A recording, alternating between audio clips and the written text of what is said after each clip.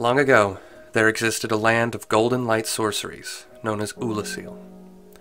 Dedicated to their fiery gods, they were permitted to settle at the base of Anor Londo, a rare privilege for a human civilization. The city and its people flourished, but as we know, so long as there are the privileged, there will also be the disenfranchised, the impoverished, and the repressed. Many a human settlement was repressed, forced to live in squalor far below.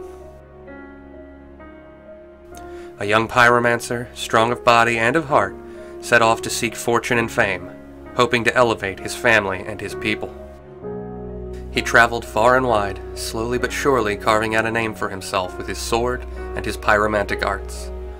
However, in his absence, a terrible sickness began to spread among his people. A blight that spared few, ravaged the cities and villages far below the ruins of Oolacile and New Londo. While the young adventurer was away, his child grew ill and eventually passed.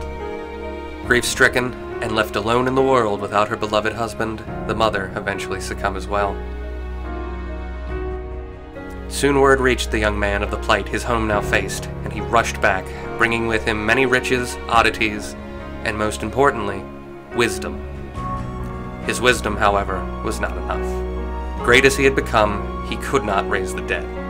No, not yet. Gathering the bodies of his wife and child, he set off on another adventure. Not for fame or for glory, no. Now all he wanted was to be whole again, to have his family back. For what good was fame or wealth without his beloved wife and child? In his journeys, he had learned of the supposed location of one who might help him. The one who gave us the first death. Gravelord Nito, who ruled over the dead and if rumor was to be believed, dwelt deep underground beneath the catacombs in the mass grave of those that had fallen to the everlasting dragons. Delving deep into the catacombs, he made a small home for himself within an enormous coffin. There, he laid his wife and child to rest for a time. He had work to do.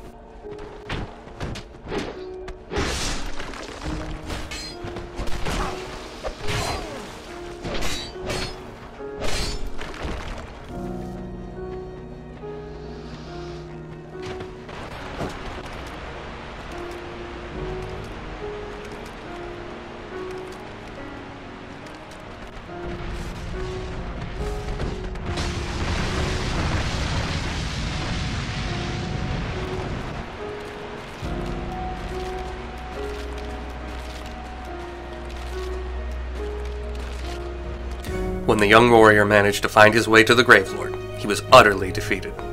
Nito had no interest in resurrecting those who had received death's gentle embrace, for Nito's only concern was to teach ever more of the living of the peace that is death, and to ensure those that had received it remained undisturbed.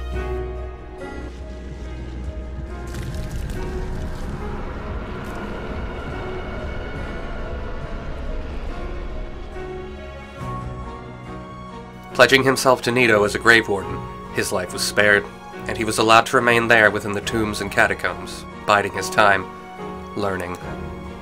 The young man built up his strength and studied all that he could of Nito's gathered knowledge of death, recording his findings in hundreds of grimoires.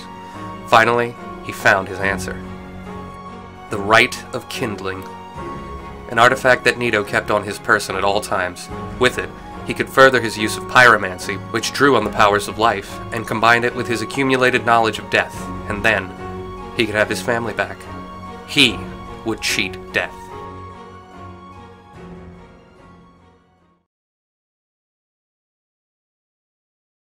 With a band of unlikely allies, heretics who were fixated on overthrowing the very gods, he stormed the Gravelord's tomb, and after a lengthy battle, wrested the Rite of Kindling from Nito. Barely escaping with his life, he returned to his workshop and prepared himself. His hypothesis was sound, and after thousands upon thousands of calculations and experiments reviving animals and insects, he was ready.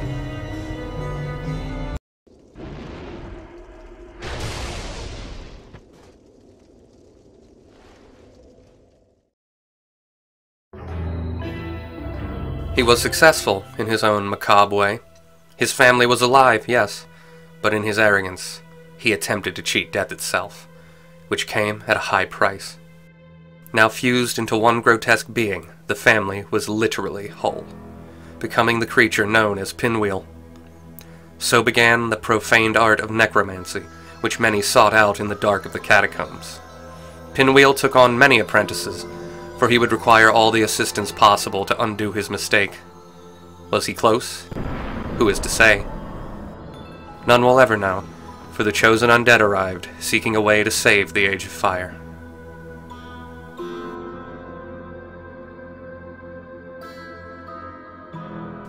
Everything in Lordran is cyclical. Like the cycle of light and dark, everything repeats. For eons later, a young sorcerer would follow in Pinwheel's footsteps. Navlaan would bring about the downfall of his entire village in his desperation to master the art of resurrection. In doing so, he too became something profaned and feared, splitting his mind in two. When he was found out, his entire village was razed to prevent his twisted deeds and knowledge from escaping into the wider world, and he was given to the current lord's brother, Aldia, for no one would miss him.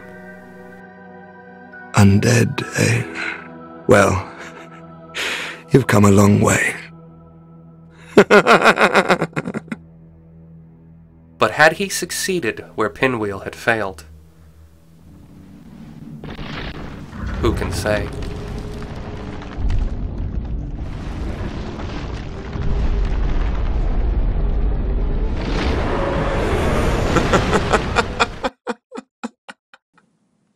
Many targets are vulnerable to this technique.